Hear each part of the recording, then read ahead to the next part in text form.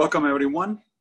This is the first edition of this International Philosophy Book Club uh, under the, the COVID-19 era. Uh, the book for today, as I assume you know, um, although of course there's no requirement to actually read the book, um, is Boethius' The Consolation of Philosophy, which is a classic of Western literature. Before we get there, uh, let me uh, tell you a couple of sort of preliminary things. First of all, my name, your, your host is Massimo Pigliucci. Uh, I am a professor of philosophy at the City College of uh, New York. And uh, this is the first of a series of book clubs that I'm going to host over the next several months. You know, it's kind of an open-ended project. We'll see how it goes. Um, if you are a member of the meetup, which you probably are if you are actually RSVP for this um, for this event and got the link to participate. Uh, feel free to uh, suggest books uh, by contacting me via uh, Meetup. Uh, there's no guarantee, of course, that I'll pick that particular one that you suggested, but uh, suggestions are welcome. And speaking of future books, before we get to Boethius today, the next episode of this, this philosophy book club is going to, or next edition, I should say, is going to take place on Wednesday, June 3rd at 5 p.m. Eastern Time. And we will discuss Albert Camus, uh, The Myth of Sisyphus. And we'll have two special guests, my friends Skye Cleary and Jamie Lombardi, both of whom are existential philosophers, have written about Camus.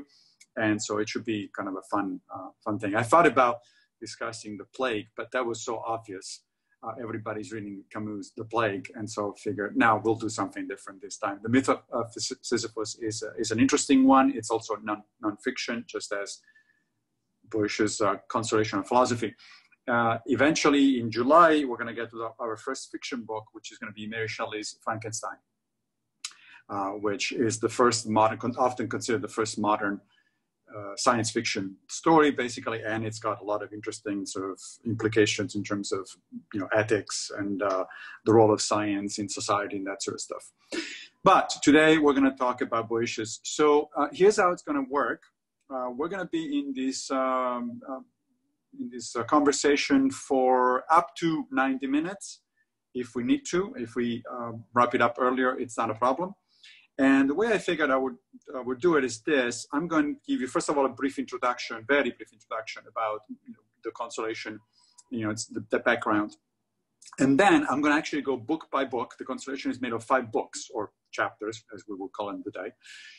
And I'm going to read some highlights, not many, just a few highlights and make a few comments from each one of these books. And then I'm going to pause after each chapter and I will open up uh, for discussion, for Q&A.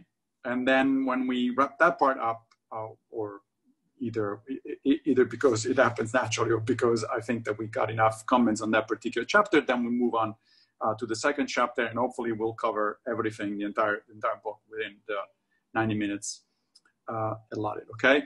So when you want to ask a question or make a comment, raise your virtual hand um, and uh, I will call on you on uh, in the order in which I see you. I will unmute your your, your microphone and um, and we'll go from there.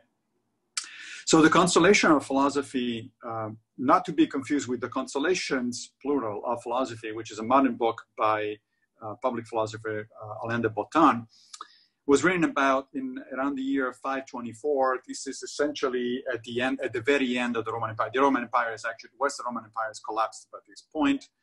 Um, and even though the last emperor was actually still alive, but it was about to be deposed. It has been described, the book has been described as the single most influential work in the West on medieval and early Renaissance Christianity. And at the same time, it's also been described as the last great Western work of the classical period. So it really does bridge uh, the end of the classical period, you know, a lot of the influence, uh, as we'll see that um, uh, that is reflected in Boethius is comes from the Stoics, for instance, and Boethius himself was a Neoplatonist, but he also was a Christian, so he writes also within the, the, the early Christian period uh, tradition. Boethius wrote, wrote uh, the book during a one-year imprisonment uh, that he served while he was awaiting trial and eventual execution for the alleged crime of treason. Uh, he was serving under the Ostrogothic king Theodoric the Great, And until very recently, before he started writing, uh, you know, before he was arrested and started writing Consolation, Boethius had been actually at the height of power in Rome, he holding the prestigious office of Magister Officiorum, and, and therefore presiding as a member of the Senate. He was brought down by envy and treachery, uh, as he himself explains actually in the book, in the first, in the first uh, chapter of the book. Now, that's the ex experience, of course, that uh, inspired the text, uh, which is now part of a tradition called uh, prison uh, uh, literature, because it was written in prison, obviously. Um, the text itself re reflects on how, of course, it's a reflection on how evil can exist in a world governed by God. That's the, what Christians call the problem of theodicy. You know, how is it that there is evil in a, in a world in which God is supposed to be all powerful, all, all, good and, and all knowing. And uh, Boethius also talks about how happiness is in fact still attainable or maybe still attainable uh, in the middle of you know fickle for fortune. The book is written as a conversation with philosophy. It alternates uh, between poetry and prose, although most of it is, is prose. But the poetry is actually beautiful, especially if you happen to be uh, able to read it in the original Latin. But even the, the, the um, uh, English translation, at least the one that I had, um, that I chosen, I think it was the vintage edition, uh, was very good. Uh, so it's a conversation with lady philosophy. Philosophy is imagined as an actual as a woman, um, and she comes uh, into Boethius' cells, and they start talking. Uh, during the conversation, philosophy contends that happiness comes from from within, and that virtue is uh, all that one actually has, truly has because it is not uh, imperiled by the vicissitudes of fortune. This, uh, as we will talk about, is a classic Stoic argument. Uh, that it in, that is that uh, the only thing that, that it's up to you is your own your own virtue, and that is what makes you. If you focus on that and then take the rest as it comes, uh, that attitude makes you essentially invincible, impervious to fortune. About justice, Lady Philosophy says that criminals are not to be abused, but rather treated with sympathy and respect. Um, uh, and in fact, she uses at some point an analogy between the doctor and a patient in a, a patient and doctor relationship. That too is a clear influence from the Stoics, as we will uh, talk about a little later. As I mentioned, Boethius was a Neoplatonist, and um, he contends, he, he, assumes that the truths found in Christianity are in fact no different from the truths found in philosophy. So he thinks that uh, it's, it's, one of a long tradition of Christian writers and actually Islamic writers and Jewish writers that think that you can get at the same truths either by philosophy, by way of philosophy, or by way of, way of scriptures. Interestingly, however, he never invokes Christian texts throughout the Consolation. This is a work of philosophy. Uh, it, there is absolutely nothing. There's no, you know, God says so, the gospel say so, and so on and so forth. So as I mentioned already a couple of times, Boethius is, is definitely influenced by the Stoics, and particular by Seneca, uh, who he, in fact, he actually mentions uh, right at the beginning of the Consolation. Dante, uh, Boethius himself was very influential. As I said, Dante called him the blessed soul who exposed the deceptive world to anyone who gives ear, uh, ear to him. And uh, we find influences of Boethius throughout the Middle Ages and the Renaissance, and even in the treatment of evil in Tolkien's The Lord of the Rings. Okay? So it's, it's actually fairly until, up until fairly, fairly recently. So um, right now, uh, then we're to actually, I'm to actually start reading you some of my highlighted passages. By the way, if you, uh, I don't know if you noticed, but um, if you did, didn't, then uh, you can do it after this. You can check it after this conversation. Uh, if you go to the meetup page for the book club, you will see a number of PDF documents, uh, each one of which contains a large set of, a fairly large set of highlights from each one of the five books of the Consolation. So if you want to go back later and download those and take a look, uh, it, it's, it's kind of my little cheat, cheat notes essentially for, for the book. I will do that for the next books as well. This is not to encourage people not to read the book, obviously, but you know, we're all busy. And if people can't read the book or can't finish the book, then they can use the notes before coming into the meeting and uh, as a sort of a uh, quick overview. So I'm going to start by reading and commenting briefly on some of my highlights, my favorite bits from book one of the Consolation of Philosophy, and then I'll open up for the first round of discussion. So in chapter one, uh, Boethius tells us that this lady who initially doesn't know what, who she is comes into the room and he says, Her eyes lit on the muses of poetry who were standing by my couch, furnishing words to articulate my grief. For a moment, she showed irritation. She frowned, and fire flashed from her eyes. Who, she asked, has allowed these harlots of the stage to approach this sick man? Not only do they afford no remedies to relieve his pains, but their succulent poisons intensified them. These ladies, with their thorns of emotions, choked the life from the fruitful harvest of reason. So this is interesting to me because it's it's lady philosophy who tells to the muses of poetry to get the hell out of the, the, the, the room because they're not helping. In fact, they're actually making things worse. This is a reflection of Plato's attitude toward poetry and uh, and fiction. Right? Uh, Plato famously in the in the uh, in the Republic said that the poets would not be allowed, and the reason for that is because they make up stuff and they manipulate you uh, you know, emotionally, and they overcome your reason. And so they're not welcome in Plato's Republic. Apparently, Boethius agreed. And so he prefers the consolation of philosophy to the consolation of literature and, and poetry. Whether you agree or not, that's, of course, a different issue. Uh, interesting. It's interesting to me, by the way, that both in the cases of Boethius and Plato, there's an irony there because they're both writing literature. They're writing philosophical literature, but it is literature nonetheless. Uh, Plato writes dialogues; those are fictional uh, things, and and of course, the entire consolation of philosophy is a dialogue, so it's fiction. Um, I mean, unless we assume that Lady Philosophy really did come in, in, inside Boethius' room, and this is an actual transcript. From chapter three, um, Lady Philosophy says, Perhaps you have not learned of the flight of Anaxagoras, of the poison forced on Socrates, of the torturing of Zeno, for these took place abroad. But at any rate, you have been able to acquaint yourself with such figures as Canius and Seneca and Soranus, for the tradition about them is still fresh and famous. They were dragged down to disaster for no other reason than that they were schooled in my ways. So, who are all these people? The first group, Anaxagoras, um, and uh, of course Socrates, and then Zeno. This is Zeno of Elea, not, not Zeno the Stoic, but the earlier Zeno, the one of the paradox. Um, all of these were actually either condemned to death or, um, or persecuted by political authorities. And so basically, philosophy is, is saying to Boethius, you know, you're in good, you're good, you're in good company. You know, you're, you're doing here precisely what Zeno and Anaxagoras, uh, Socrates were doing. And then he, she says, you know, if you don't remember those guys, then surely you remember more recent examples. Canius, for instance, was accused of a plot against, uh, was a, a, philosopher who was accused of a plot against Caligula.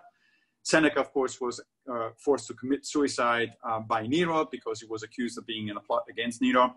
And the last one, Soranus Barea, was also killed on the order of Nero. So all three of these actually uh, are associated with what is called the Stoic opposition to imperial tyranny. So, you know, this is the first bit of consolation, basically, that comes out of philosophy. She says, look, at the very least, you're in good company here. Don't, don't think that, uh, that you're wasting you know, that your life is wasted. You're actually an example of a long tradition of philosophers opposing uh, tyranny or being brought down by envy. In uh, chapter four, she says, affairs of state would be blessed, blessed if students of philosophy directed them or if those who controlled them happen to be students of philosophy. This also comes straight of Plato, of course, right? So Plato in the Republic concludes that the ideal state would have to be run by philosophers.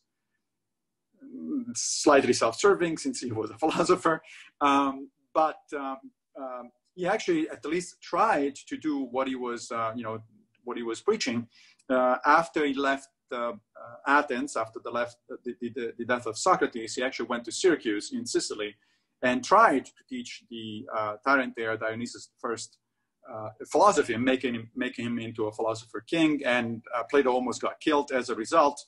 And so he got out of Syracuse and eventually started wandering throughout the Mediterranean and went back to, to um, Athens, where he established his famous academy.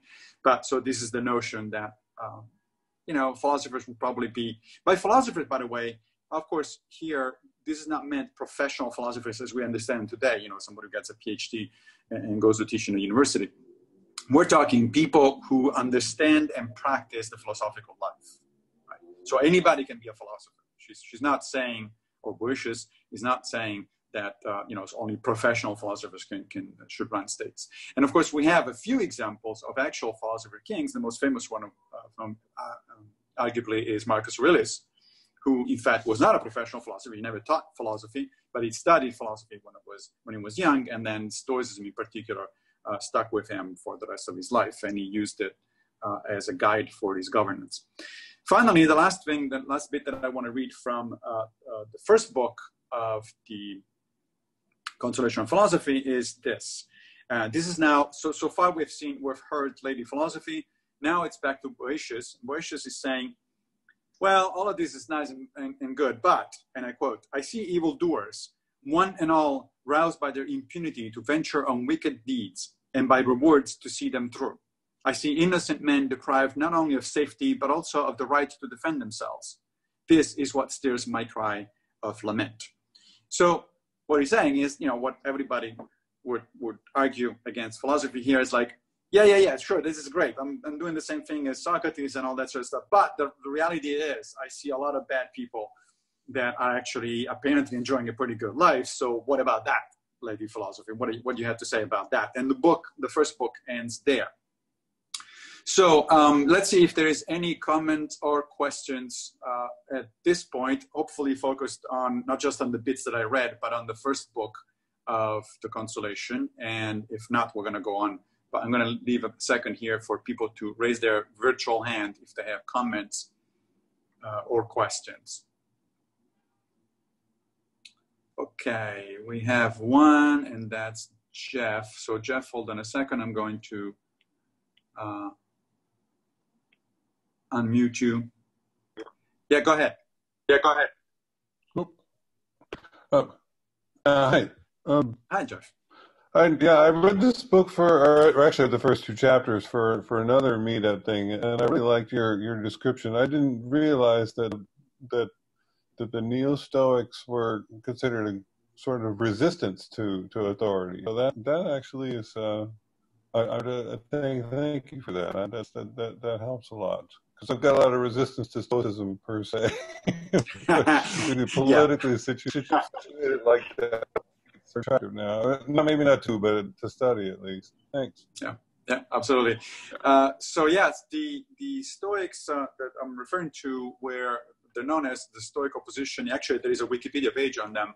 Uh, and I wrote an essay uh, not long ago on my on my site about the Stoic opposition. This was a group of senators and philosophers who opposed three emperors: uh, Nero, Vespasian, and Domitian.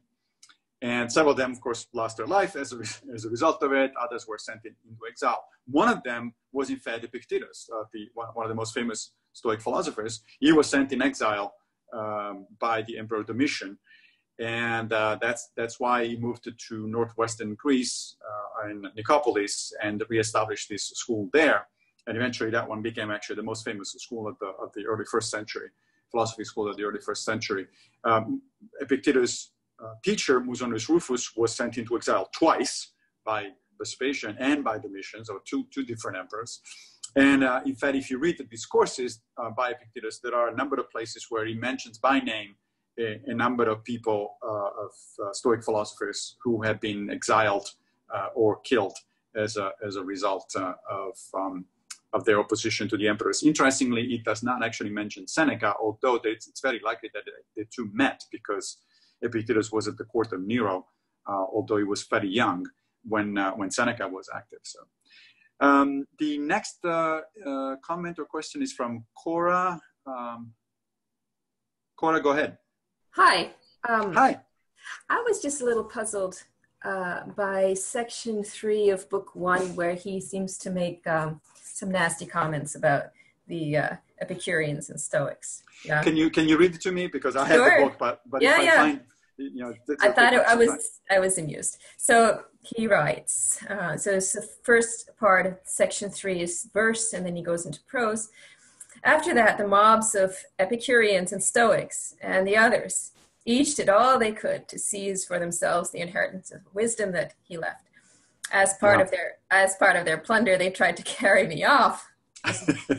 wisdom talking, okay, but I fought and struggled. yeah, yeah. And in the fight, the robe was torn, which I had woven with my own hands. They tore off little pieces from it and went away in the fond belief that they had obtained the whole of philosophy. The sight of this is terrible. The sight of traces of my clothing on them gained them the reputation among the ignorant of being my familiars. And as a result, many of them became corrupted by the ignorance of the uninitiated mob. I mean, that's pretty, pretty harsh. it is pretty harsh. It's also a fairly vivid image, right? Her, her clothes are being torn away by these philosophers are yeah. to, to, take advantage of her. So, um, okay, let me let me address this. Yeah, I noticed that part actually. Now that you mention it, it's, it's kind of, it was kind of interesting, and it does contrast with several other bits where, on the other hand, she mentions positively uh, people like Seneca and um, and Epicurus. In fact, at some point, in a couple of places, uh, mentions she mentions Epicurus. The way I interpret this is because even though Boethius was in fact somewhat eclectic in his philosophy, so as I said, he was influenced by a number of different philosophies, including Epicureanism, Stoicism, and of course Christianity. But he fundamentally was a Neoplatonist. And so he thought of himself, of course, at the time, the Neoplatonists were not called Plat- Neoplatonists, they were called Platonists. And uh, even though we recognize them as a later uh, version of the academy. And so, you know, he has uh, this attitude toward, you know, the people that came after Plato, or more specifically after Socrates, are not, you know, are not real inheritors of the, of the tradition uh, the, the, you know, the real stuff is Socrates and therefore by implication Plato. Everybody that came later, so they tried to, to do their best, but you know, they didn't quite succeed as, at the same level. Interestingly, the uh, Stoics themselves actually explicitly called themselves Socratics. Uh, the, the Stoic, they were called Stoics by others, and eventually they adopted their name. But initially, they called themselves either Zenonians, after the name of Zeno of Citium, the founder, or simply Socratics they, they, simply, they simply they thought of themselves as uh, direct uh, intellectual descendants of, um, of Socrates. All right, guys, thank you for your uh, uh comments. And uh, let me go back to the readings. So now we are moving to book two.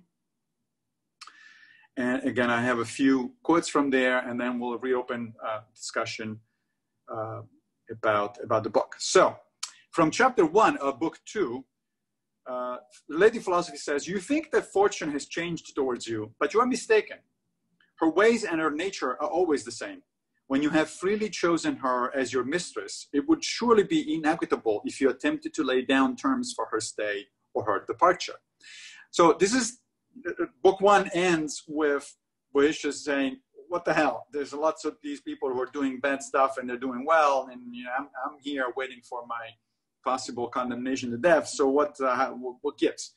And philosophy's first response is, well, her first response, as we've seen, was, well, you're in good company. But the second response is, well, but wait a minute. You knew when you was when you started relying on fortune, when you started actually paying attention to things like power and money and fame, you know, your, your, she will tell him later, your kids are doing, are still doing very well. You were one of the most envied people in Rome. It's like, well, that's fortune gave it to you. And you knew from the get go that for, what fortune gives, fortune takes back. And uh, it does, she does, she can do that at any time and she, uh, uh, she can do that for any reason. So why are you complaining? You got yourself into, the, into that game, right? You, you were after those things. And for a long time, you, you were, you know, fortune smiled on you. And it's not that she changed the rules of the game all of a sudden. You knew from the get go that those were the rules. Whatever she gives you, she may take away at any moment for any reason. So there's, so she's not actually treating you unfairly, uh, as it turns out. From chapter three, um, for, uh, philosophy again says, uh, but you should not count yourself as wretched, or have you forgotten the number and extent of your blessings? This is the first time that she has cast a malevolent, malevolent eye on you. Top up the number and extent of your happy days against the unhappy ones, and you cannot deny that your life up to now has been blessed. So this is essentially a follow-up uh, on, on, the, on the argument that, you know, fortune didn't, take, didn't actually, did not actually treat Boethius uh, badly. In fact, I've read, uh, the, the bit I just read has another chunk that I skipped where she actually goes on and, and lists the stuff that happened to Boethius, that was granted to Boethius uh, as I said, including you know not only power and money and and uh, influence, but also a good family, uh, sons who themselves were powerful and uh, you know and, and rich. So it's like, what are you complaining about here? You know, most people will be envious for most of your life, and so like there's really not much to complain.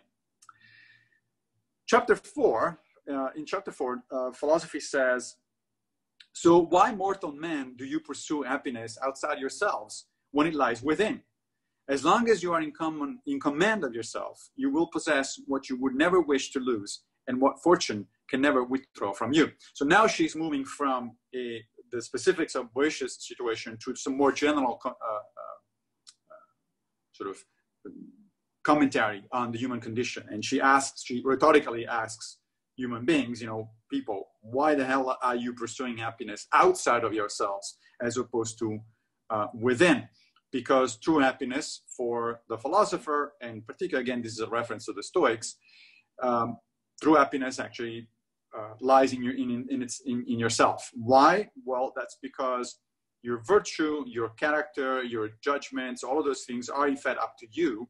And if you're content with in, in your life to simply exercise your best judgment to uh, to uh, live virtuously, uh, then uh, then nobody can actually uh, force you to do otherwise.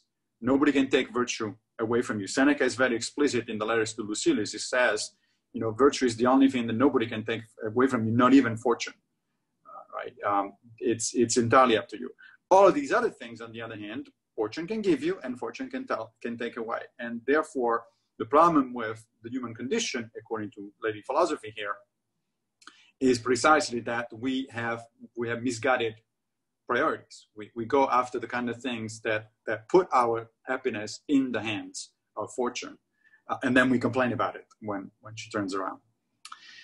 From uh, chapter six, still of book two, philosophy says high position does not confer honor on the virtues, rather, virtue confers honor on high positions. And she also gives a number of other similar examples. You know, she says uh, somebody's not a, a good man because he's rich uh, is a good man because he uses his riches well, his wealth well. Somebody's not a good man because he's educated. Uh, somebody is a good man because he uses his education well, and so on and so forth. This particular case, she's talking, she's uh, about high position because, of course, Boethius was in a very high position uh, within um, at, at court and within the Senate. So the point, of course, here is that all of these things are bestowed on us from the outside, high position, wealth, etc. Those are not valuable per se. They are preferred. They are, they are, to be preferred, as the Stoics would say. They are selectable, right? They, they are the kinds of things that is perfectly fine to go after, so long as you don't stake your happiness on them. That's that's the basic uh, message here, right?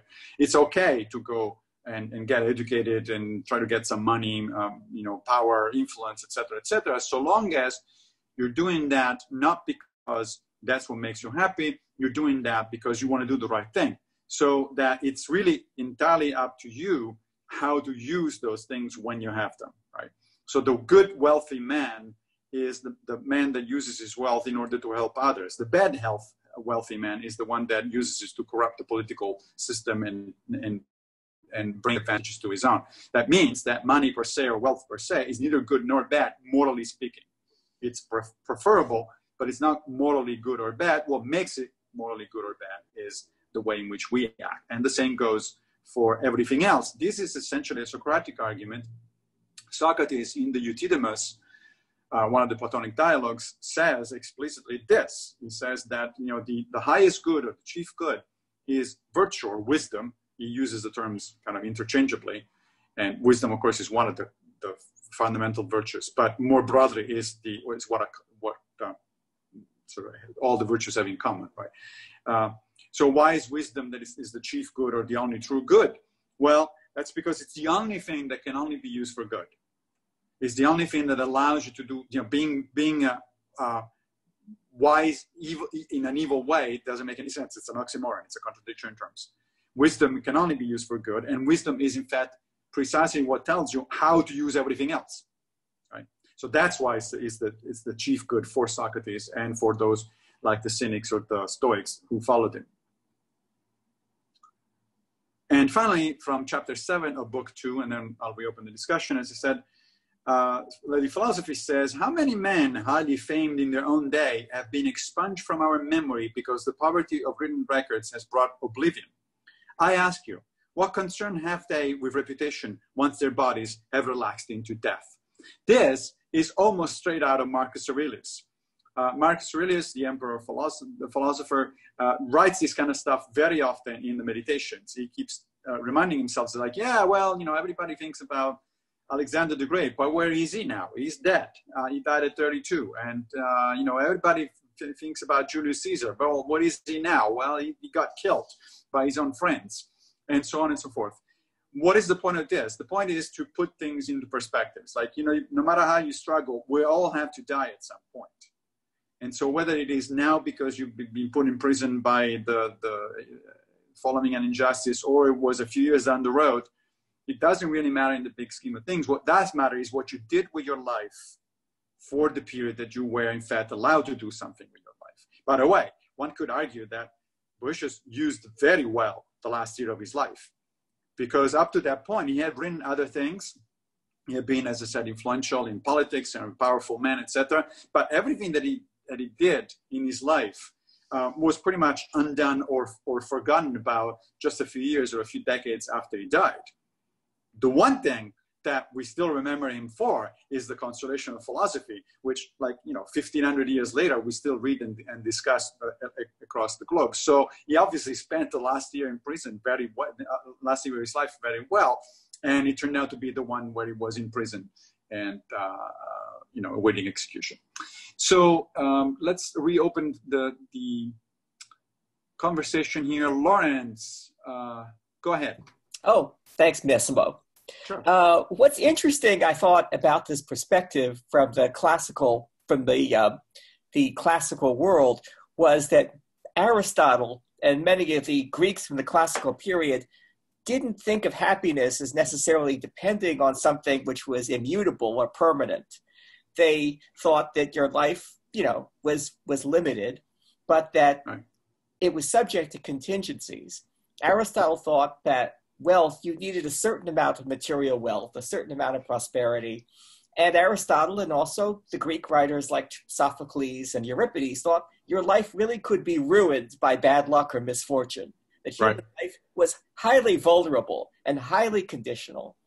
And I think part of it was that the Greeks didn't necessarily think that for something to be the source of happiness, it had to be permanent. I mean, and we recognize today that anything from musical performance to a piece of theater to beautiful weather to human life are transient. They're not permanent, but that doesn't mean that they can't make us very happy and they can't be yeah. a source of great happiness. But somehow Boethius really starts with an assumption that if something is transitory uh, or kind of contingent, it's, uh, it's not worth it. Yeah, yeah, that's that's exactly right. That's a, that's an excellent observation. So let me make a couple of points about this. So yes, he's he's setting up the situation like this, but in the end, of course, by the end of the book, he will agree with philosophy that uh, that in fact, you know, you you could you know, the, the, the thing that makes you happy is the only one that is under your control, that is virtue. Now, you brought up Aristotle, and that's an excellent point because Aristotle, of course, is the classic point of reference when, talk, when we talk about virtue ethics. All of these framework here that Boethius uses uh, is essentially a mix of virtue ethics and Christianity, right? And and um, so Neoplatonism was a kind of virtue ethics as well. So was Aristotelianism, uh, Stoicism, Epicureanism. All of these were kind of virtue types of virtue ethics. But virtue ethics is really often sort of uh, uh, referred to as sort of an Aristotelian thing, even though it actually comes arguably from Socrates, not from Aristotle. The interesting thing, however, is that Aristotle did have actually an interesting and different take from several of the other schools uh, about what makes you happy. So first of all, as we probably know, well, probably know, it, the, the, the, word that the Greeks used was eudaimonia, which is translated with as happiness in English only in a very clumsy fashion because it really doesn't mean happiness. Um, in, there's no ancient text from which you, you read the context and say, oh yeah, they meant, he meant that um, it wasn't happiness. It was. It's often um, translated as flourishing, right? Whatever it makes for a flourishing life. And however, I actually have argued uh, in a couple of essays that uh, translating it that way kind of slants things in favors of Aristotle as, uh, as opposed to uh, some of the other Hellenistic schools. Because in, in, as a matter of fact, because as you pointed out, Aristotle says in order to achieve eudaimonia, you, de- you definitely need virtue. You need to be a virtuous person because without it, you can't, you can't have it. But you also need a bunch of, uh, you know, material things. Uh, and it does list things, you know, you need to be a little bit educated, uh, a little bit of wealth, uh, even a little bit of good looks. Otherwise, you know, your life is not, is not flourishing. However, that's Aristotle's specific take on eudaimonia. Um, one can make an argument that each one of the Hellenistic schools was actually differentiated precisely by how they interpreted eudaimonia. Um, for, the, for the Epicureans, for instance, eudaimonia certainly included a, a, component of virtue, but it also importantly included, uh, you know, was, was about uh, reducing pain and, and uh, seeking pleasure. For the Stoics, it was all about uh, virtue, and for the Cynics, the, the same. So the broader, the broadest possible translation of eudaimonia that I can think of is the life worth living. And so if we think of eudaimonia, so the goal uh, is as the life worth living, then we can actually make sense of all these debates among the different schools. Because what basically what ha- was happening there is that they disagreed on what makes a, li- a human life worth living. When Aristotle says you need virtue, but also you need certain uh, externals, he was obviously espousing a very commonsensical view of of, uh, of uh, the life worth living, the flourishing life. Uh, when the Epicureans were saying, no, no, no, you don't need a lot of externals. You, what you do need is to stay away from pain, particularly mental pain.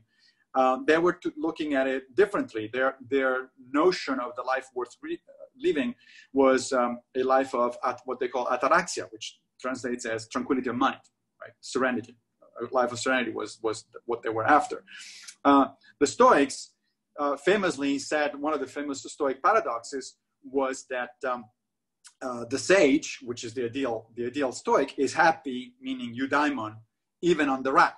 That means even under torture. Now, if you translate eudaimonia as happiness, you must think that either these people were crazy or that they were masochists, right? Because nobody can possibly be happy or in fact even flourishing on the rack in under torture. But what the Stoics meant, since the Stoics did uh, um, think that uh, eudaimonia was the life worth living, they thought, well, under certain extreme circumstances, it is worth the trouble to go, you know, get tortured if in fact you're doing it for a good reason. If in fact you are, uh, you know, defending your your country or defending your friends or something like that, then you should endure tor- even torture with a good spirit uh, because in fact your life is still worth living even though even though you are in that ex- extreme uh, situation uh, let me see, uh, is there any other comment before we move, move to book three?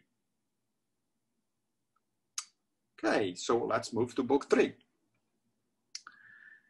So here's uh, philosophy talking again. In their differing pursuits, men seek what is good, and this readily indicates the scope of nature's power. For though their aspirations vary and are at odds with each other, all are at one in choosing the good as their goal where is she getting here? She's saying that although we disagree on what is on what constitutes the good in life, and as I just said, you know, even the different schools of philosophy disagree, but certainly human beings in general disagree. We all agree that we want the good, right? So we define, we conceive, we understand the good differently, but we all agree that we want the good. Nobody goes out saying, you know, I really want the bad stuff. Uh, you know, uh, she's she's pointing this out because she's building an argument with Boethius uh, toward something that we'll get to in, in, in, a minute. So from chapter three, so first I inquire of you, and this is now Boethius talking. So first I inquire of you as one, uh, one who until recently possessed abundance of riches. When you had all that money, was there never a time when you were worried and this, actually, sorry, this is actually philosophy talking. Uh, when you had all that money, was there never a time when you were worried and disturbed in mind through some, um, through some wrong you sustained? And Boethius says, I have to admit that I cannot recall ever feeling free from one worry or another. And philosophy says, so wealth cannot free, cannot free you from want and make you self-sufficient in spite of its apparent promise to do so. This comes after a bit where Boethius was saying, look, but but you're you're kind of poo-pooing the, the externals, you know, these, these these things like money and power and everything. But in fact, people want them for a reason because they want to be independent. They want to be uh, happy. They want to be, you know, self-sufficient. And so basically, she's going now here bit by bit. She's picking on each one of these uh, examples of externals that Boethius has brought up, and she says, "But wait a minute. When you were powerful, were you actually serene? Were you actually happy? Or were you constantly afraid that somebody was going to try to trick you or trying to bring you down, which is, of course, what actually did happen to Boethius. And Boethius has to say, well, yeah, that's true. I did, you know, that, that was a, a, constant worry.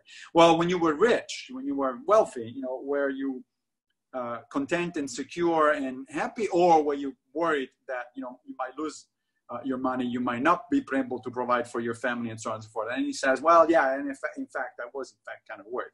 So she's building these arguments that despite their promise, externals are not bringing us happiness. They're understood as uh, in the eudaimonic sense of the term, because they actually don't bring you, uh, you know, the kind of security and self-sufficiency that uh, you think they might they might bring you. And um, and the next bit is goes into a famous example. The next bit is from uh, con- from chapter five of uh, the third book, and he continues. She's continuing. Uh, philosophy is continuing the same argument. She says that tyrant who had experienced the dangers of his station compared the fears felt by a king to the terror of a sword poised overhead. So, what sort of power is it which cannot banish knowing anxieties or avoid the stinging pricks of fears? Kings themselves would prefer to live untroubled lives, but this they cannot do. So, instead, they boast of their power. The tyrant in question that Lady Philosophy is referring to is uh, King Dionysius II of Syracuse, the same guy that Plato tried to uh, um, to educate. Actually, I think I said I said earlier uh, Dionysius the first, but it was the second. And uh, Dionysius the second was famous for this episode that is referred to as the Sword of Damocles. Uh, there was this this um, uh, you know, attendant of his or this this friend of his, Damocles, who kept saying, you know, you must be great to be a king. You know, you, you're there on your throne and you know you can decide life and death uh, for everyone. And it's like it's you're great. It's, it's epic. You know I, I wish i were your place. And uh, dionysus uh, despite his treatment of plato was actually kind of an interesting guy. And says well let's uh, let's make let's make an let's do an experiment here. I'm going to put you on the throne for a day you you'll be the king for just one day you can do whatever you want you can experience you can have the full experience of being king so Damocles says, wow, this is great. I, absolutely, I accept. And then he sits on the throne and he notices that right on top of his head, there is a sword dangling from, from the ceiling. And it's, it's dangling there by a thread. And the thread, it's obvious, could snap at any moment. And the, the, if it does, the plunge will, will the, the, the sword will plunge down and kill him. So he's, he's, he's, getting a little nervous. He says to Dionysus, what the hell? What's going on here? I mean, there's this sword on top of my head. And the king says, that's how I live my life. Every day I have a metaphorical sword that is hang, hanging on, on top of my head. Every day I could be killed. Every day I could cross somebody, even though I'm the king. And somebody might decide to do away with me, and even my power is limited. So I actually worry every day that something like that is going to happen right? So that's um, that's why a Lady Philosophy here says kings themselves would prefer to live untroubled lives, but they, this they cannot do. So instead, they boast of their power. So so all these boasting of power and richness and and you know and all that sort of stuff, wealth and all that sort of stuff, is because they're actually afraid of their situation, but they have to somehow justify first and foremost to themselves uh, that you know why they're there and why they keep doing what they're doing. So they say they keep telling all the rest of us about how great it is to be a king, but in fact it isn't that great.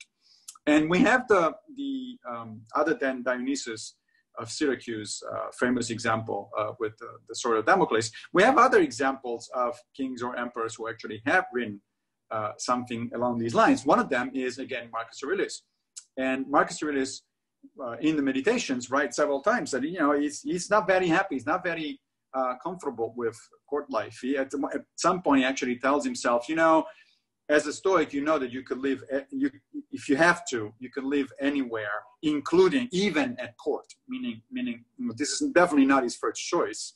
He wouldn't want to be there, but it has been entrusted on him. He has to do his duty. He sees that as, as a duty, so he's going to try to do his best. But isn't, it isn't his choice. It is not the kind of thing that he would want to do otherwise. Um, and then at the end, uh, near the end of, the, book three, from chapter 10, I'm going to read one more, uh, and then we're going to open again for a brief discussion if there is any comment. Since all things are sought to obtain the good, what all men desire is the good itself rather than the things which men seek. But we have already agreed that happiness is the reason for desiring all other things. And this makes it crystal clear that the substance of happiness and of the good itself is one and the same. So this whole book, essentially, book three, has been a, a long argument by philosophy to arrive at this conclusion that we just heard, uh, that the substance of happiness and of the good itself is one and the same. In other words, to be happy in the eudaimonic sense is to achieve the good. And the reason most people are not happy, are not eudaimon, is because they are they misunderstand what the good is. They don't get it. They don't understand it. They are misleading, uh, misled by others uh, into thinking that the good resides in being wealthy or powerful and so on and so forth. And then they discover too late, uh, if they discovered at all, that that wasn't the case. So basically, this is a diagnosis of the human condition. Right? We have everyone wants the good. Everyone wants a eudaimonic life. Everyone wants to be happy. It's just that most people are mistaken about what happiness is. So let me see, this is the end of book three. Let me see if there are comments uh, or questions about what we just, uh, what I just pointed out. Um, as I said, uh, uh if uh, you guys are have a, a question, you, you, need to uh, raise your hand so that we can have it on audio video because I don't have, I cannot monitor the, the chat. So if you're asking questions in the chat, I'll get to that after the, the show is over, okay? So no questions about book three? All right, then we can go on to book four, which is the next to the last book uh, in the Consolation of Philosophy. From chapter one of book four, but the consuming cause of my depression, says uh, Boethius, is this, that in spite of the existence of a good ruler over the world, it is all it is at all possible for evils to exist or to go unpunished. Now, now here is turning toward the Christian uh, attitude, right? So he's saying, all right, there is a ruler of the universe, and this ruler of the universe is good and all that sort of stuff. So how come that there is evil? And this is the famous problem of theodicy, which has take, which has kept, of course, uh, Christian theologians occupied from then until now um, nobody's been able to particularly you know to solve the, the problem. But there's some interesting things that Boethius that uh, has lady philosophy say about the problem of theodicy in book four. So we're going to go through them uh, little by little. In chapter two, the uh, the word is back to philosophy. So philosophy talks, and she says, "Why is it that they abandon virtue and, and pursue vices?" They mean people. Is it because they do not recognize things that are good? If so, what is more effect than, than the blindness of ignorance? But evil men, you will say, have power. I will not deny this myself, but their power stems not from their strength, from, but from their weakness. This is the interesting, um, the first interesting sort of rebuttal that philosophy has for the, the, the objection that Boethius has, has brought up, that, you know, medieval people seem to do well. Interesting that is, yes, they're, they're doing well. She said, you know, I'm not denying the fact, but in fact, this is they're doing well is an illusion and it's a result of their weakness, not of their strength. Why not? Because they're weak in, character, right? Their character is weak uh, because they don't seek virtue, they don't exercise virtue. So they're, they're weak in character, they're defective in character. And she will elaborate uh, in, in a, in, a, minute on what that means. Uh, but I want to point out that this also is a Socratic idea, which was then uh, elaborated uh, more in detail by the Stoics, this notion that bad people do things, do evil things out of uh, weakness or lack of wisdom, not because they actually think they actually want to do uh, those kind of things. They think that they're doing the right thing. They think that they rationalize it. Um, they rationalize what they do, but that's just because they're sick.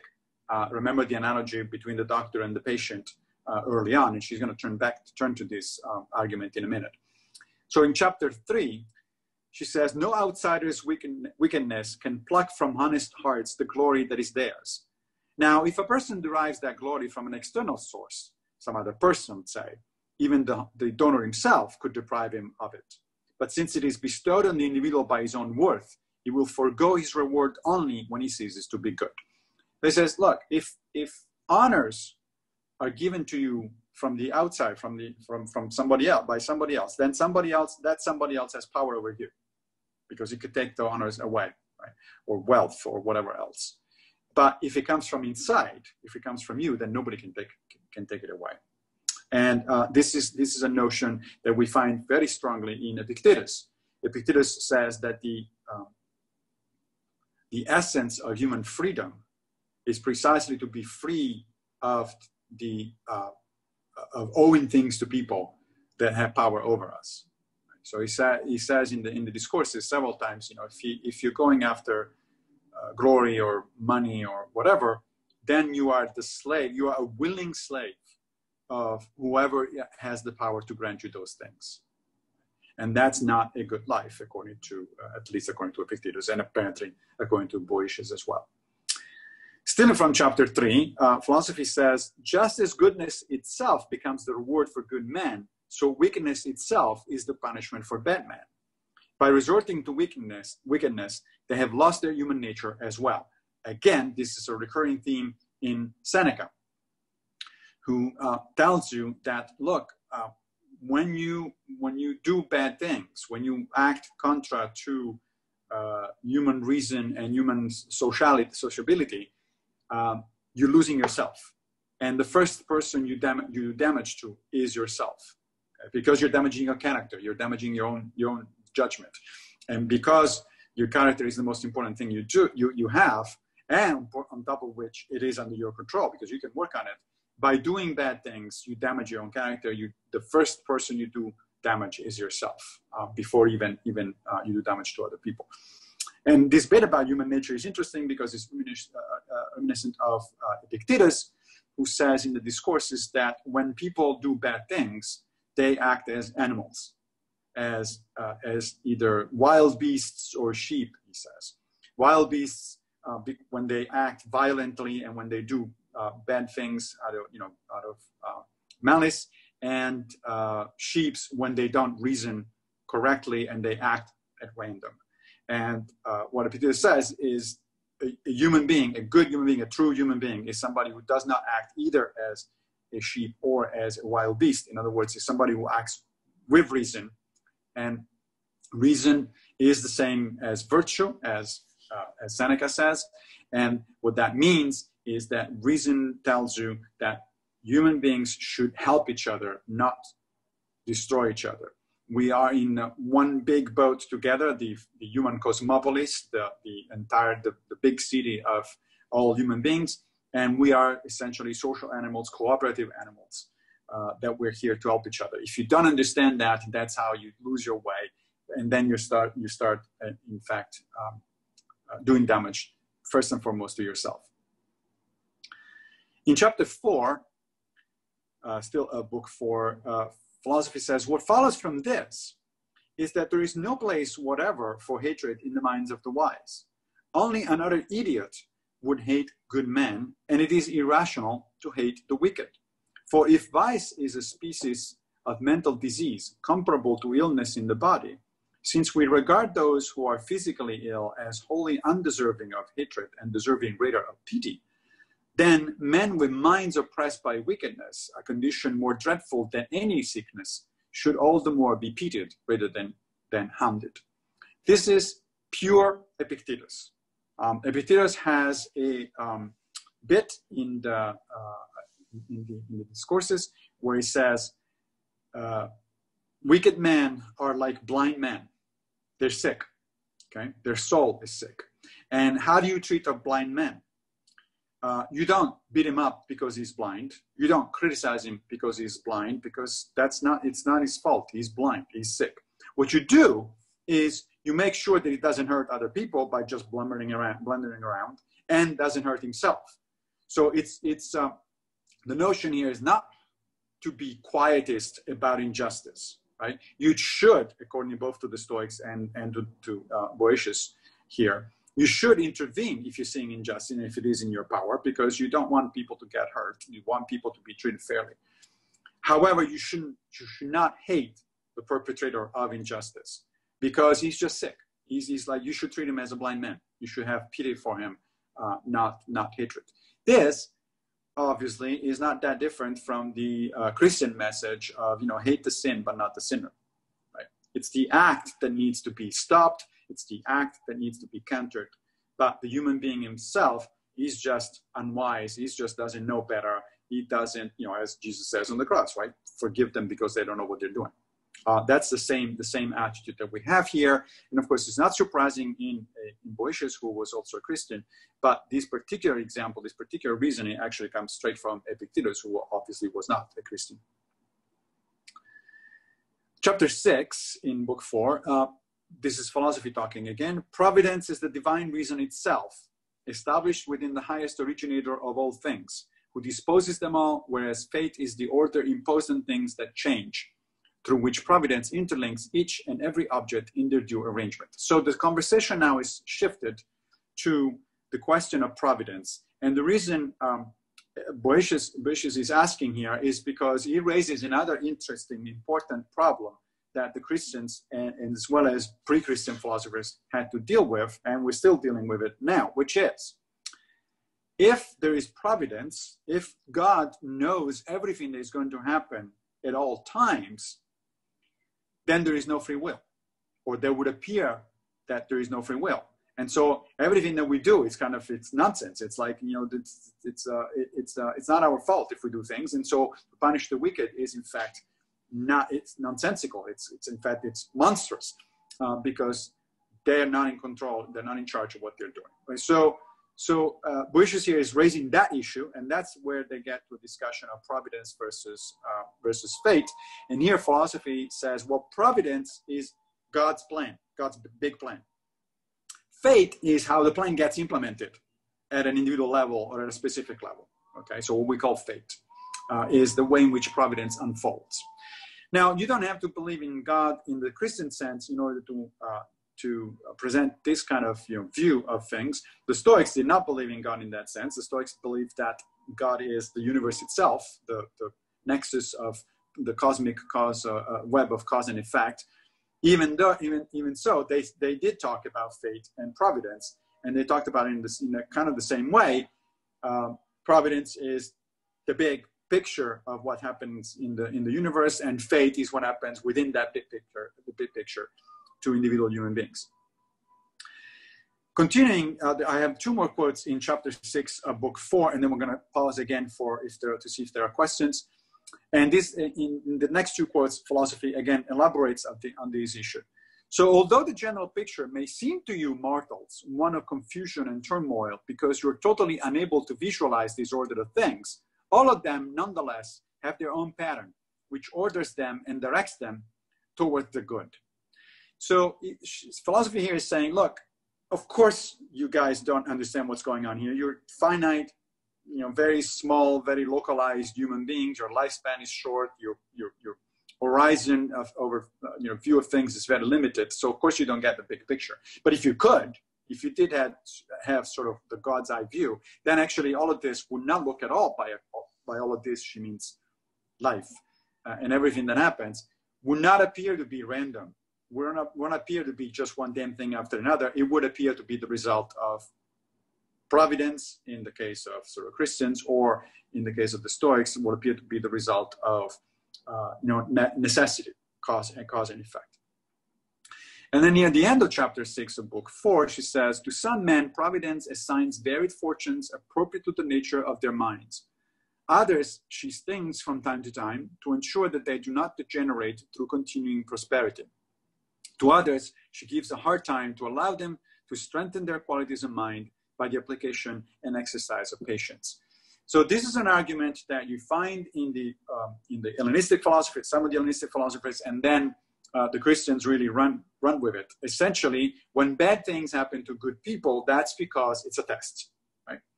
Uh, so God is testing you. God is is making sure that you are prepared uh, for you know for the various challenges of uh, that life throws at you, and so that is the Christian sort of rationalization of why good things, so, so bad things happen to good people. Now the Stoics had a similar notion, except that in their case it was more a matter of endurance. The emphasis was on enduring. So Marcus Aurelius says that life is more like a wrestler, uh, like wrestling, like, like dancing, because fortune sends you stuff it's like a, it sends you opponents that are that are meant to keep you in good shape and so you constantly have to be on guard because your next opponent is coming from any any anywhere and uh, and, and at any time right and in the stoics there is no notion that this is actually part of a bigger plan. It's just what happens because that's the way the universe works. Um, but nevertheless there is this same kind of basic idea that uh, you should welcome uh, uh, you know bad things happening or, or setbacks or, or uh, things that are, are not going to be feeling very pleasant because first of all that's just life right? It's a, it's a mortal con- mortal condition. We all die at some point. We all lose loved ones at some point and so on and so forth. So setbacks are kind of part of life.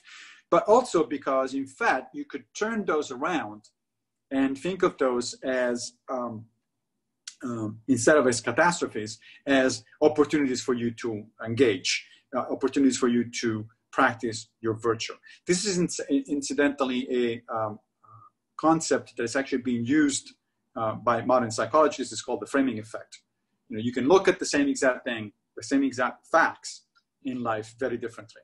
You can, uh, as cognitive behavioral therapists, you can catastrophize things. You know, if something happens, oh, there is a there's a pandemic and I'm supposed to be inside. Now I'm inside, you know, this is day number 56 for me.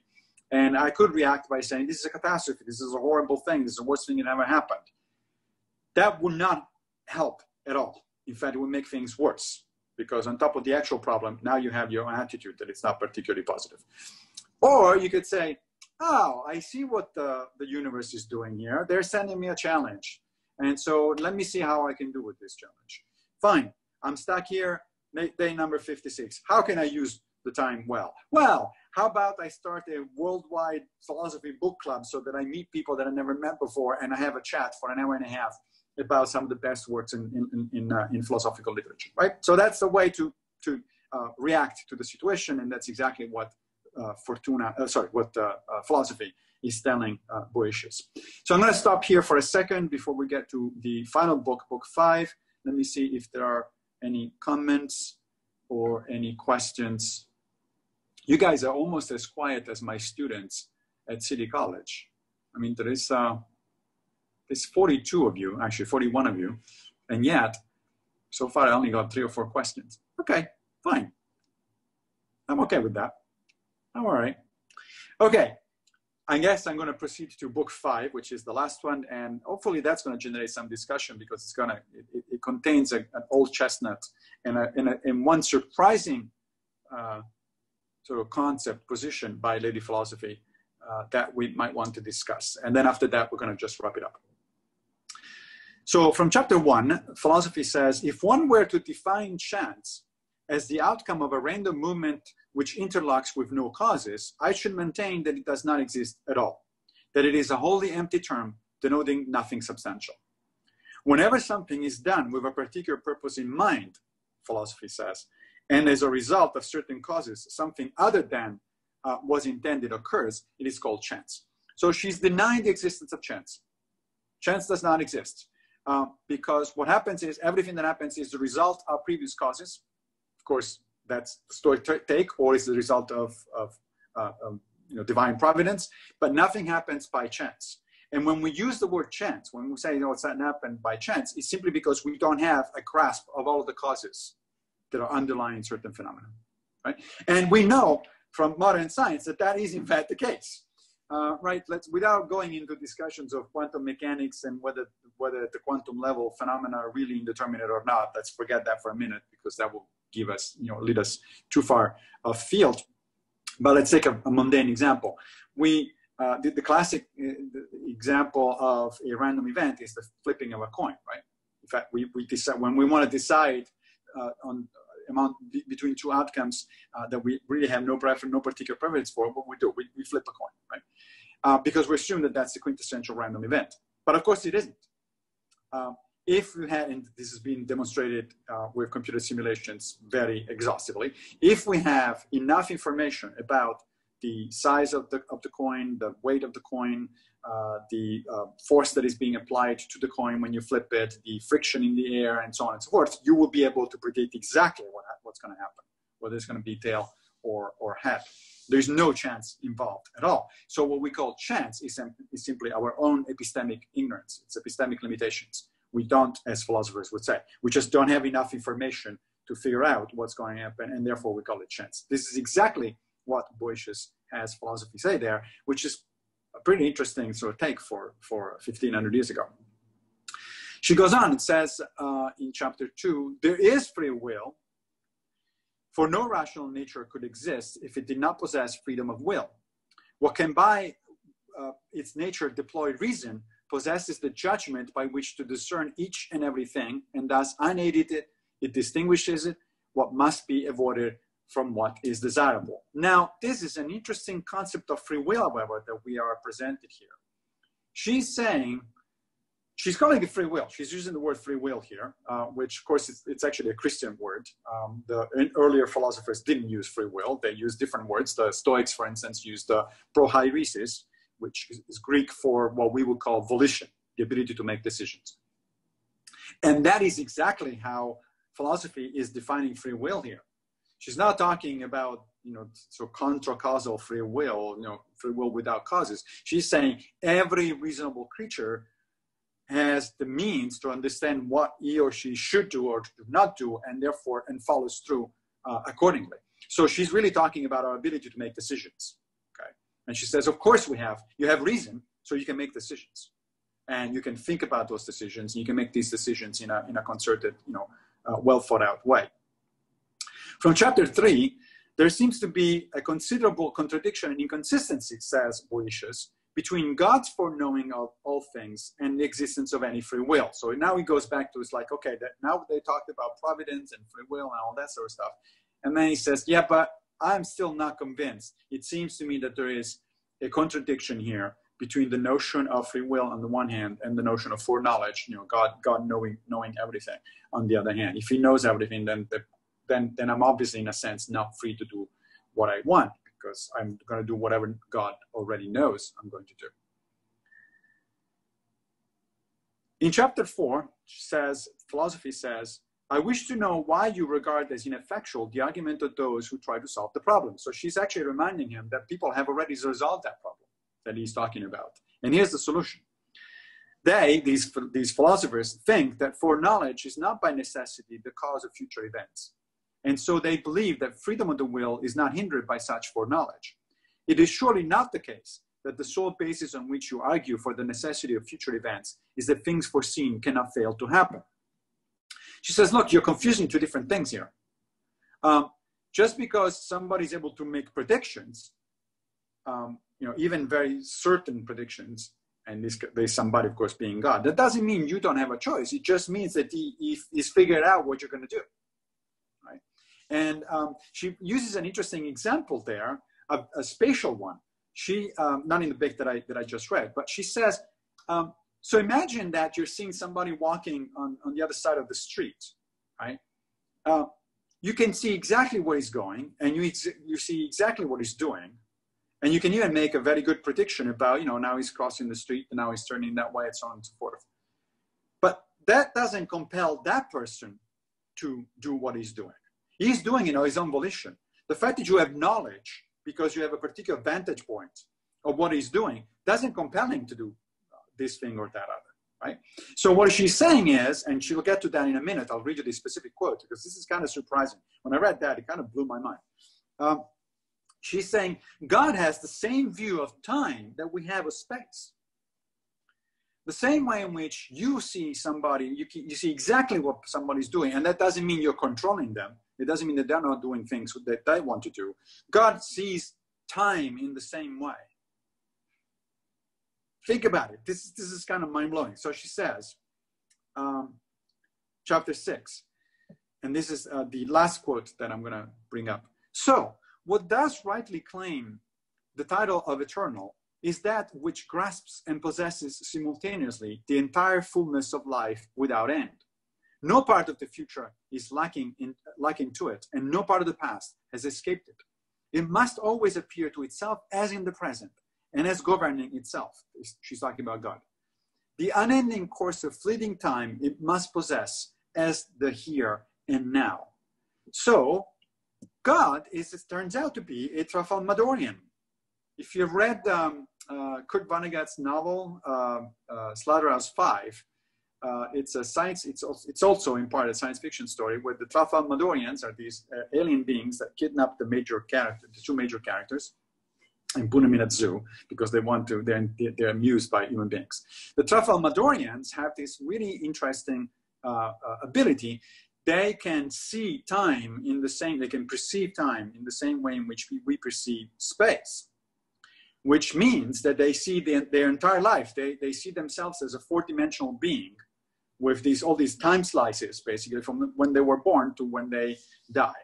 And it's an interesting uh, uh, you know, ability because the Tralfamadorians use it to spend more time so to speak uh, uh you know to focus on those bits of this of those uh, time slices where they actually had interesting or good experiences and they don't dwell too much on the time slices where they don't have uh, very good experience. But they can see the whole thing simultaneously essentially Lady Philosophy is presenting this kind of, uh, of notion.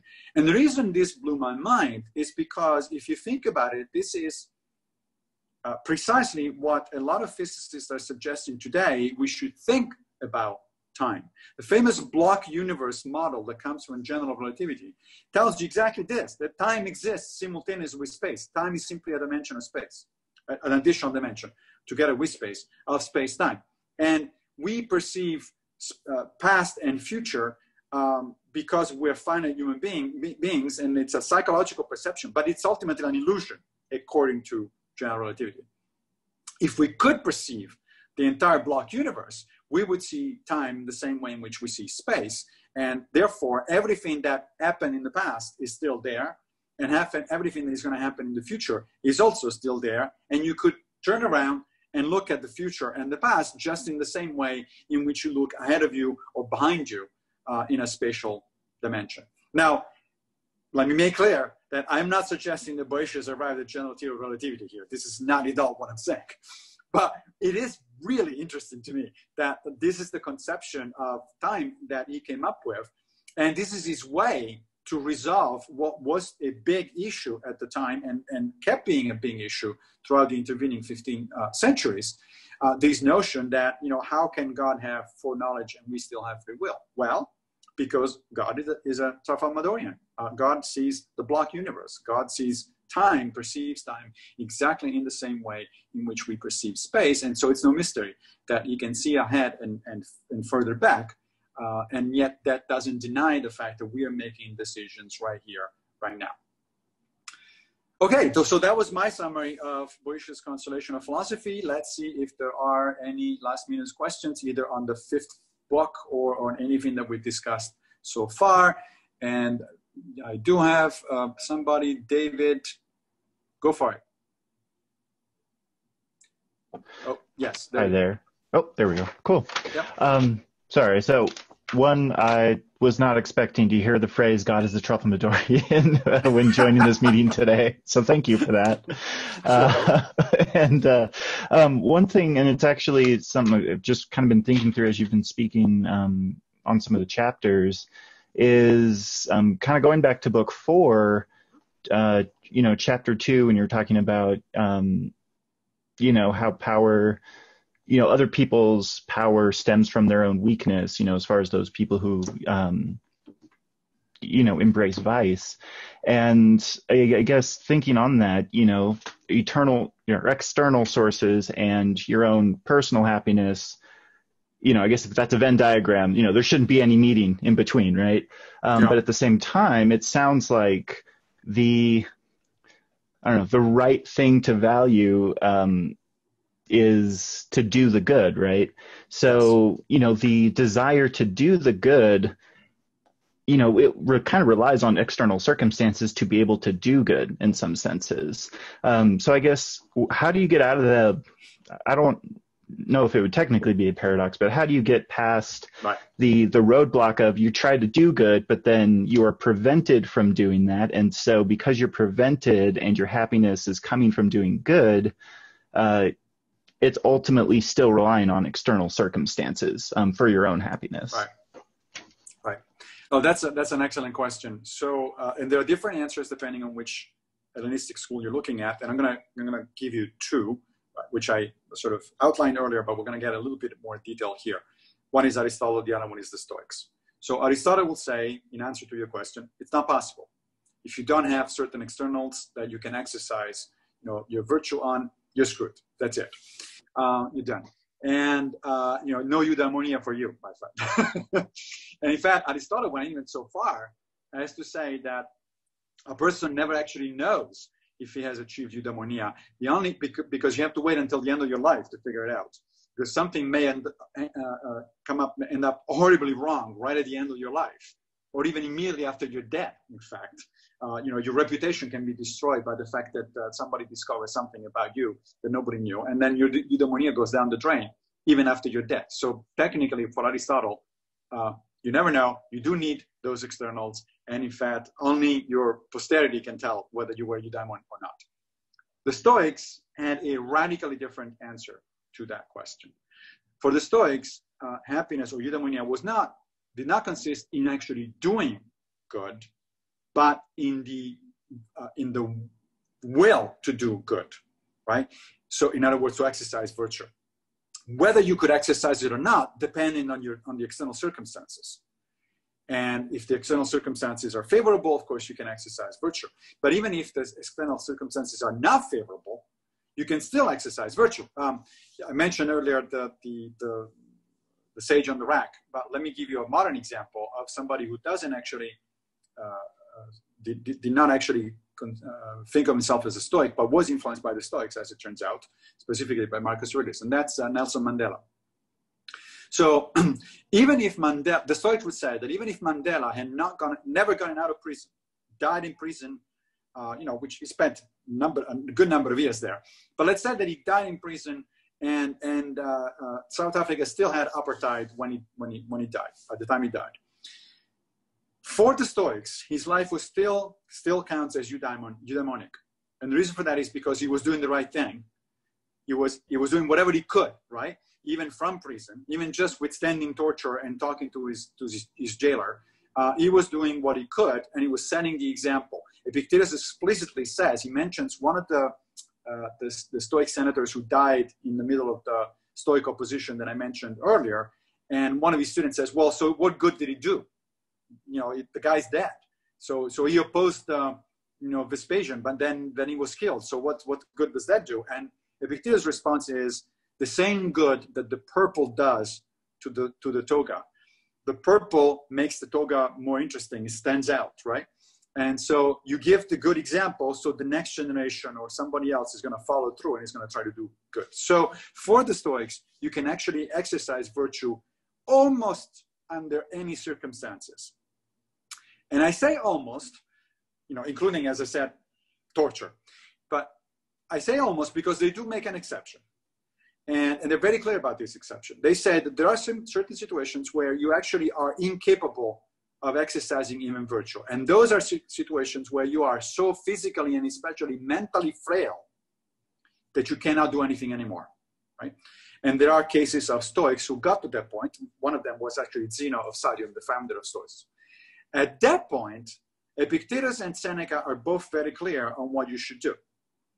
Uh, they put it differently. For Epictetus, you should walk out of the, of the open door. For Seneca, you should cut the knot. Um, basically, what they're saying is you should commit suicide.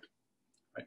If you get to the point in life where you really absolutely cannot do anything permanently, there is nothing because your, your mind is, is going, your physical situation is such that you're completely dependent on other people and you can't do anything, then that is the time to walk out the door.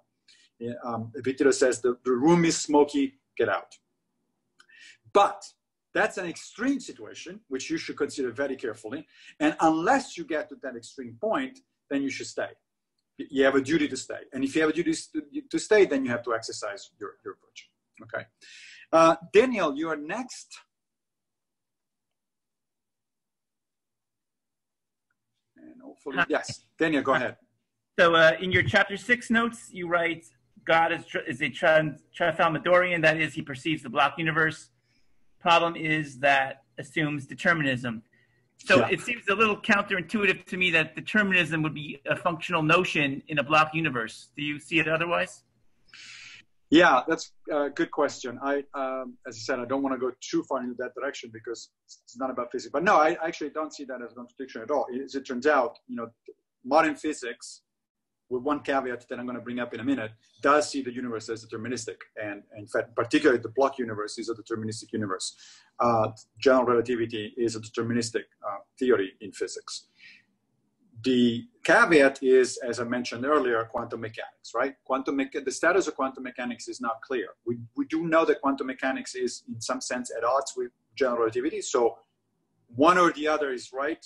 Possibly both are incomplete and wrong, and that's why physicists are looking, I've been looking for a number of years now, decades, I should say, for a more fundamental physics that, that, that theory that will reconcile the two or supersede the two.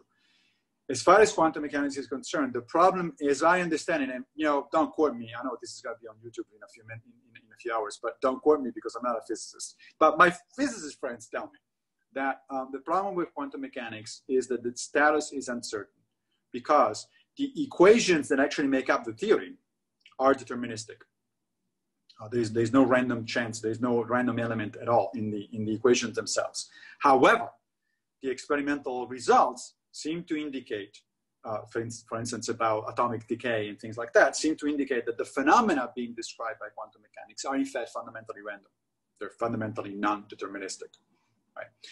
So which one is it? Is it going to be, is, it, is the universe deterministic or is it in fact fundamentally uh, at a fundamental level non-deterministic and then determinism kind of emerges as an emergent property because nobody doubts that classical physics is deterministic? The example that i gave of the flipping of a coin there's no question there. There's, there's no issue with quantum mechanics. It's, it's deterministic. And of course we live in, in the microscopic universe we're only indirectly affected by quantum phenomena. Therefore for us there's no question that the universe, universe also is deterministic. Whether it's deterministic at the foundational level or not I understand it's still an open question, and, and it will depend on which shape the next fundamental theory uh, will take, whether it's going to be string theory or M theory or uh, loop quantum gravity or whatever the hell else the, the, the physicists are going to invent next. Uh, so that is an open question. Of course, from a philosophical perspective, both um, the, the, the, people actually believe in free will and are still determinists. Those are the so-called compatibilists, and the Stoics were among uh, what we would consider today compatibilists, well, those people will tell you that determinism is necessary for volition, is necessary for us to make decisions because uh, if if uh, the universe were actually uh, a place where things happen at random, then we wouldn't be making our decisions. We'd just be making random decisions. We'd be like flipping the coin continuously uh, instead of actually making our decisions. So our decisions wouldn't be ours. But as I said, you know, this is as far as I'm going to go with this uh, today. We got a few more minutes, and I have Bobby next. Yes. Hi. So when you mentioned Nelson Mandela, um, you talked about how even if he, um, you know, he, he stays in prison his whole life, um, apartheid, you know, never goes away. Um, well, then he's still making an example for the next person, right? But what I was thinking right. was, okay, kind of how uh, you know if a tree falls in the forest, no one's around to hear it. Doesn't make a sound. If someone uh, suffers for a good cause in a forest and no one is ever around to discover that person suffering, is that person doing good as an end in itself still within the realm of uh, the Stoic conception of virtue ethics? That is a great question, and I feel I think we're going to close on that one. It's, it is a great question. Now, obviously, that person is not doing any good for other people, um, and that's unfortunate, obviously. However, according to the Stoic conception, he's still doing good for himself because he's not he's still even at the end even in the end when he's dying in prison or under torture and there is nobody that's listening to him and there is no no benefit that's going to come out of to other people of those of what is what is happening there he is still a person of integrity. He still can say to himself, you know, this is unjust, but the world works this way. I am still not caving in. I am still doing what is the right thing, even though it's not going to have consequences outside of this of this particular room. That is one reason. Uh, you know, people may or may not buy, of course, this this this version of things, but that is one thing. One, one, one reason I find uh, Stoicism so consoling in the sense of Boethius's consolation of philosophy, uh, right? Because even under those extreme conditions, which let's be frank, most of us will never experience, right? Hopefully, most of us are not even going to get tortured by somebody, um, let alone not only torture, but in complete isolation with nobody knowing, knowing what's going on. That's, that's a very unusual situation. But even under those conditions, the Stoic would say, well, you know what? You still did your, best. your best.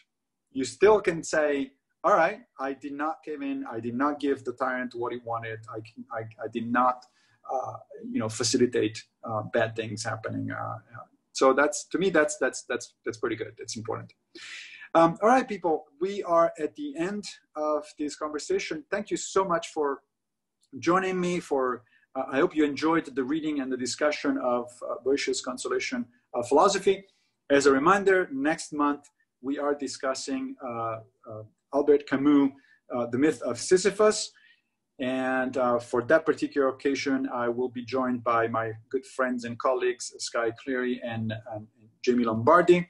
And then after that, in July, uh, we're going to discuss Frankenstein as a, a the first modern science fiction novel uh, that has plenty of philosophical uh, implications. So I look forward to that. If you want to start reading the books now, go ahead. And if you want to have access to the notes for this particular conversation, as well as to the dates for the uh, upcoming conversations, then just uh, go to the meetup, um, meetup.com and look for uh, Philosophy Book Club. And uh, hopefully I'll see you next month. Uh, stay safe. Bye-bye.